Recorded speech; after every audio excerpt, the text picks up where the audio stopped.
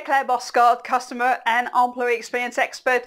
And today I'm back for my COVID-19 customer service top tips. Uh, and today I wanted to say you have two ears and one mouth. Use it appropriately. Yes, your customers are here and they love being listened to.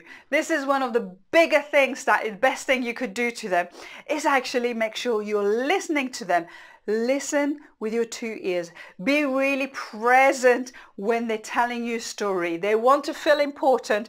You may not say a word, but as long as you listen to what they have to say, how they feel, and you're listening and you're engaging with them and you're responding by not just your mouth, but your whole body, they will love you for it. So COVID-19 customer service top tips, listen, listen mindfully.